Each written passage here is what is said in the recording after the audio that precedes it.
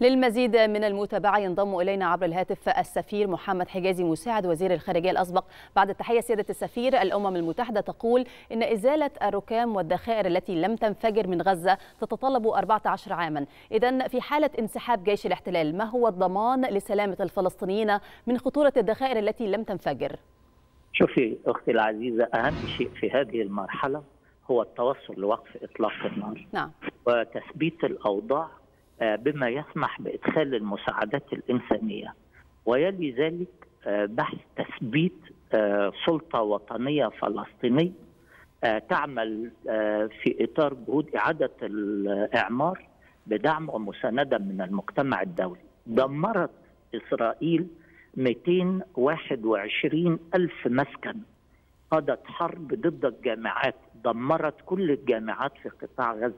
دمرت كل المستشفيات في قطاع غزة دمرت كل الخدمات المقدمة من كهرباء وماء وكل وسائل المعيشة. قتلت آه 70% من 34 ألف شهيد منهم النساء والأطفال. 70% من النساء والأطفال من ال 34 ألف. جريمة آه من جرائم الحرب وجرائم الإبادة الجماعية الأكبر على مستوى القرن الحالي أنا أظن أننا إذا ما استدعينا التقرير اللي كان مكتوب بتشريح ال genocide أو تشريح الإبادة الجماعية كتبته فرانشيسكا ألبانيز المفوض بشأن حقوق الإنسان في الأراضي المحتلة وزارة مصر نعم. الأسبوع الماضي ومنعتها إسرائيل من زيارة الأراضي في قطاع غزة، يعني نعم. نحن أمام مشهد ما تقوله الأمم المتحدة بشأن هذا الكم من الدمار هي جريمة إبادة جماعية بكل المقاييس.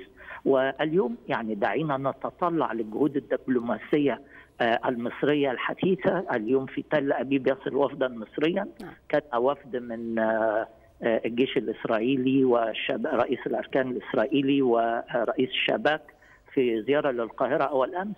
بمعنى أن هناك تواصلات سريعة لدعم سيناريو عدم اقتحام رفح سيناريو يقود للسلام ويقود لإعادة الإعمار بدلا من سيناريو استمرار الحرب آه الذي يقوده نتنياهو واليمين المتطرف في إسرائيل. لكن سعاده السفير ما هو الضامن وهل هناك ضامن لسلامة الفلسطينيين بعد انتهاء كل هذه المجزرة والإبادة الجماعية التي تحدث الآن في قطاع غزة بعد كل هذا هناك ضامن لسلامة الفلسطينيين الذين يعيشون في هذا القطاع لأيضا وجود ألغام لم تتفجر أو لم تنفجر بعد؟ بكل تأكيد يعني كل دي تداعيات للمشهد الأهم وهو التوصل لحل سياسي بعد وقف إطلاق النار وإدخال المساعدات يعني إبقاء البشر في هذه المرحلة بعيدا عن تداعيات الإبادة الجماعية أما ما تقولينه سيادتك سيأتي حتما. يعني جهود إعادة إعمار ضخمة تتشارك فيها مصر مع كل البلدان في المنطقة والعالم إعادة المواطن إلى أرضه التي دمرت وإلى مد مرافق ولو مؤقتة لأن المرافق الأساسية حتى مصادر المياه دمرت الآبار دمرت. هي جريمة أعتقد أن ما أن تضع الحرب أوزارها والبحث عن مخرج سياسي كل قادة إسرائيل سيكونون في لاهاي لمواجهة المحكمة الجنائية الدولية. هي جريمة موثقة بالصورة وبالتالي لا فكاك من مطاردتهم حتى يكون العقاب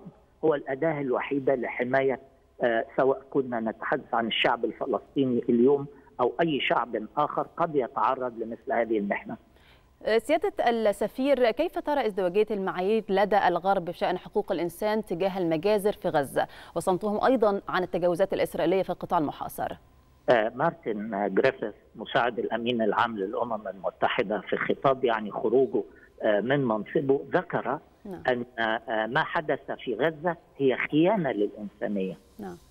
السناتور وهو يهودي أمريكي ساندرز ذكر أمس أن أي ادعاء بأن ما تقوم به حركات المقاومة والجامعات الأمريكية التي تقف الآن ضد الإبادة الجماعية في غزة لا يمكن وصفها بمعاداة السامية لأنه دمر 221 ألف مسكن قتل 34 1500 فلسطيني 70% منهم من عن عمد من النساء والأطفال هو قتل كل ما على السطح من جامعات ومدارس ومساجد وكنائس هو قضى على الحياة واستخدم أساليب الإبادة حسب قواعد القانون الدولي للإبادة الجماعية استهداف شعب أو إثنية هو استهدف الشعب الفلسطيني واستخدام أدوات قاهره لتحقيق الإبادة الجماعية واستخدم كل الأدوات التي يجرمها القانون الدولي نعم.